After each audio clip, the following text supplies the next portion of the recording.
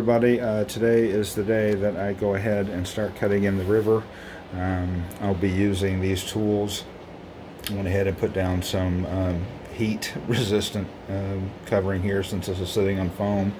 Um, this is the tool that I'll be using to actually cut through the foam for the deepest part of the river. Um, and then I've got a couple of other tools uh, that I may need to use. But I went ahead and set up the GoPro because um, I'll set the video up and you guys probably time lapse it or something and uh, post it later. You can see incrementally how it went. Um, I now know how the flow of the river is going to go. At least I drew it out in my mind, and that's essentially what I'm going to start cutting in with today.